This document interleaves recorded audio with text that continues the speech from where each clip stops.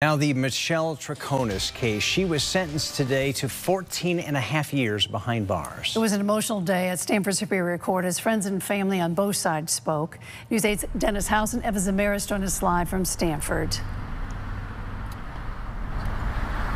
Ann and Darren, good evening. This is the latest chapter in a story that began more than five years ago, Memorial Day weekend 2019, when police say Fotis Dulos murdered his estranged wife, Jennifer Farber Dulos, about six miles from here in the town of New Canaan at her rented home. She moved there to flee him in Farmington. Now, it was a very emotional day. As you heard, it was a long day. The courtroom was absolutely packed. We're estimating more than 100 people were here today for the sentencing. And truly, as we were waiting for Judge Randolph to say what that sentencing was, you could hear a pin drop in the courtroom. Take a look. Michelle Troconis sentenced to 20 years in prison. Total effective sentence 20 years, execution suspended after 14 and one half years five years probation. Before she was sentenced, the loved ones of Jennifer Farber Dulos addressed the court. Jennifer filled her children with love, wisdom, and humor. Jennifer would have been very proud of her children's accomplishments. I miss Jennifer's intelligence, her soft, sweet voice, and the sound of her laughter including her five children. To protect them and their identity, pictures were shown instead. Mom and dad are words that only bring trauma and grief. I will never again share those simple moments that mean everything. She was my favorite person in the world, my role model. She is still somewhere in my heart. My mom will now never get to see me or my siblings grow up, something I had known she had always wanted.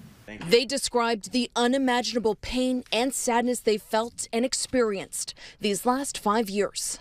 If you have just the least bit of humanity, I suggest you let all of us know exactly what happened that day and where my mother is. I want to end with the lesson my mom taught me leave everything the same or better than you found it.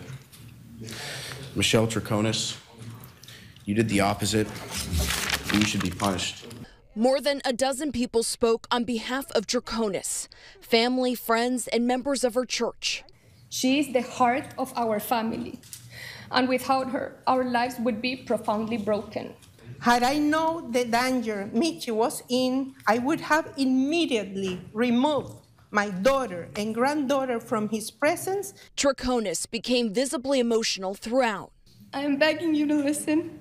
I need my mom in my life. Not just as a parent, but as a source of strength and understanding. As a father, plead with you, Josh Randolph, to show mercy in my daughter's sentence. Troconis spoke as well. I am a person of profound faith, and I have been praying and will continue to pray for those who suffered and still suffer.